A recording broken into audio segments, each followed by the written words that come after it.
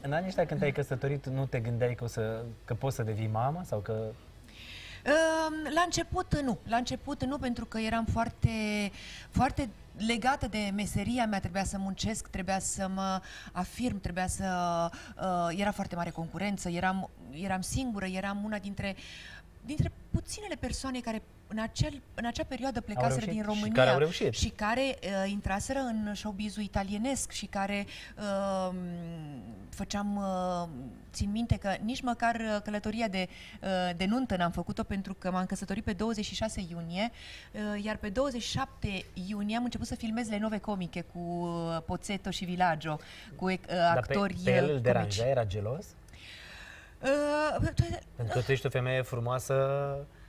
La început nu, la început nu, dar după aceea încet, încet a început să iasă acea gelozie morboasă, acea gelozie care nu, nu-și găsea sensul, nu-și găsea s- rostul, pentru că Într-un eu... fel își găsea, pentru că tu începuse din ce în ce mai mult să ajungi la un nivel ridicat și să fii căutată, să filmezi, să fii... Și într-un fel trebuia să fie puțină gelozie. Pentru că avea impresia că te poate Mamă, pierde. dar aia este meseria. Eu cred că o femeie, dacă stă cu un bărbat, stă Este, da. pentru că îl dorește, pentru că îl vrea, pentru că îl iubește.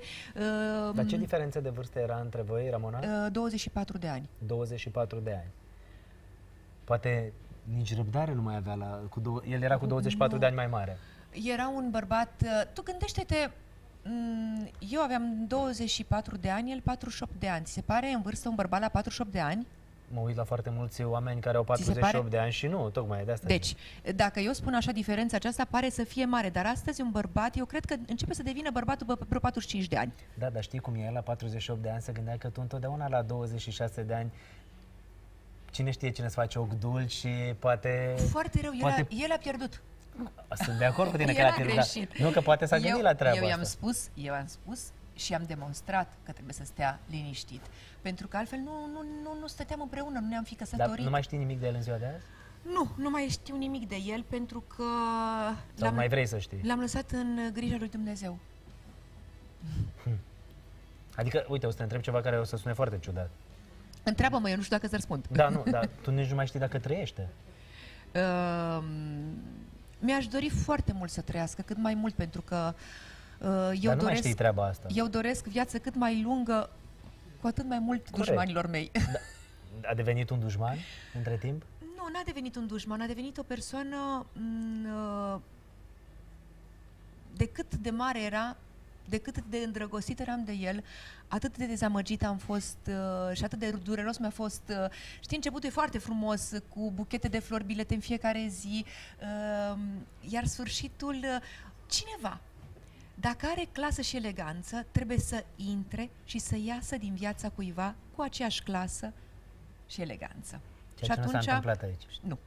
Da, mie asta mi se pare, pentru că dacă tu nu mai știi nimic de el, nici nu mai știi dacă trăiește sau nu trăiește, sau lucrurile astea le afli, ai, sau, mă rog, nu vrei să le afli. Trecutul este important pentru că noi astăzi ceea ce suntem, suntem rezultatul Tu trecutului. ce apreciezi eu? Că ești o Nu. persoană care vorbești despre trecut, pentru că la mul- de multe ori uh, întâlnesc și aici la emisiune persoane care uh, nu vreau să vorbesc despre chestia asta, ca și cum parcă n-ar face parte din viața lor și nu, înțelegi. Dar M-a de format ce? foarte mult. Ce Trebuie să se- le mulțumim tuturor persoanelor care au făcut parte din trecutul nostru, pentru că datorită lor noi suntem astăzi ceea ce suntem. Uh, un singur lucru, eu cred că este important să înțelegem că viața este un, un suflu. Uh, Nu trebuie să rămâi lângă o persoană dacă tu simți că nu poți Că să nu-i dai, locul tău acolo. că nu-i locul tău acolo, pentru că poate să găsești o altă persoană pe care să o faci fericită sau pe care Sau poate o altă sau persoană care nu poate să te vină la facă tine pentru fericită. că tu ești deja închisă într-o altă relație. Important e să fii sincer cu tine. În momentul în care tu simți că ai dat tot ce ai putut, eu cel puțin așa am făcut în viața mea. Când am simțit că am dat tot ce am putut mai mult și am luptat, am luptat foarte mult pentru relațiile mele, foarte puține. Foarte puține relații am avut în viața mea și am luptat pentru ele, dar când s-a terminat, s-a terminat. terminat. S-a terminat. Aici, așa categorică, cred că cu dumneavoastră seamănă. Păi normal. Adică dumneavoastră a zis, când gat, Nu, nu, asta e fost educația care a primit-o. Ce se întâmplă în legătură cu căsătoria ei? Au fost două caractere deosebite, două moduri de trai și de, dezvol- și de comportare în societate. El fiind un avocat internațional, avea alte orizonturi, avea alte gânduri, ea fiind de o varietate culturală. Nu, nu prea se înțelegeau bine cele două, cele două, Două lumi. froturi. Sigur că da. Câți două- ani aveți? El? Dumneavoastră, nu, Cât dumneavoastră. am acum? Da. 85. Mulți înainte. Mulțumesc. La fel. Sunteți extraordinar, serios. La fel. Mi-ar plăcea și eu să ajung la 85 de ani. Mami, Ajungeți, uh, ajungeți, vreau să nicio și să discutăm am un piculeț. mintea dumneavoastră așa foarte ordonată și foarte clară. Serios. E, Vreau să spun un lucru, o anecdotă Și stați extraordinară. să o întreb și pe și Nu, doamna, e. că și, o, și dumneavoastră 81. 81. Mulți înainte. Mulțumesc. Acum înțeleg de fapt de unde moștenește Ramona Gena, de la părinți. Nu arătați de 81 de ani. Nu. Serios. Și Hai să-ți povestesc o treabă, că văd că ești rămâia fascinat. Bine, te-ai găsit Da. cu gorjanul tău, cu tati. Uh, Frate meu, când era mic, la patru ani, stătea exact ca mine între mama și tata. Mi-au povestit, că normal eu nu eram. Uh, și e, îl, îl, îl, îl adula pe tata, îl, era îndrăgostit de tata Călin, îi plăcea foarte mult și se uita la tata și zice, ce frumos ești, tată! Trece, trece, trece timpul, tot în pat acolo. Ce frumos ești, tati! La care tata, cum este el, un, o persoană deosebit de elegantă, se uită și zice, păi, Călin, vezi că nu suntem singuri aici în pat, este și mama cu noi! Fratele meu se întoarce la mama și zice, ce noroc ai avut tu, mami, că l-ai luat pe tata! Foarte bună asta, foarte bună. Eu vreau să-mi promiți că atunci când mai vii în țară sau Așa. când mai vii la București, mai vii cu părinții tăi la emisiune, pentru că sunt niște oameni extraordinari și eu mă bucur foarte tare că v-am cunoscut astăzi. Sunteți niște oameni deosebiți și chiar mă bucur foarte Ne-am tare că simțit v-am foarte cunoscut. bine. Mulțumesc mult! Mă bucur că Mulțumesc. v-ați simțit bine și vă aștept și vreau să vă spun ceva. Data trecută când a fost Ramona aici am speriat-o. E, V-ați uitat atunci la emisiune? Spune, A, tati, da, Când am spune. da. speriat-o după da. plasma Cu apărut. iepurașul. Cu iepurașul. Știți că am speriat-o. Da, Și s-a supărat tata. Aoleu. Da, Mai spune. bine nu mai aduceam Spune. aminte de treaba Nu, asta. Nu, da. E bine că ați adus aminte. S-a Mă gâ- supărat, mă a zis, gând- trebuia să ieși de acolo, din studio, ce e asta, ce mă se gândesc întâmplă? că acum că ar fi mers din nou să o speriem pe Ramona, dar m-am gândit că nu se face de față cu părinții. Dar data viitoare când vine ea singură, îi mai pregătim ceva. Păi nu, nu mai lasă vină singură. Doar cu părinții. Cu părinții. Doar Vă cu mulțumesc părinții. mult, sunteți niște oameni senzaționali, să vă dea Dumnezeu multă sănătate și vreau să-mi promit că la 60 de ani la nuntă mă chemați și pe mine? Vreau să vin.